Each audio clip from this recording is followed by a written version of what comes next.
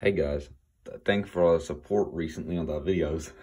Uh, so today I'm going to be doing a much requested tutorial about how to tighten the curtain rod on the, or curtain screw on the curtain rods. As you can see, it's kind of like, you know, it's wiggly. It's wiggly and you don't want that because then the curtain rod is, is, can come, can come off and that won't be good. So you're just gonna, gonna wanna, gonna wanna do, uh, twist it right to where, and then you want to stop right when, when you can't twist anymore. So you just want to stop when it's getting harder to twist, and then the uh, rod should be more secure. As you can tell, it's a lot more secure than it was uh, before.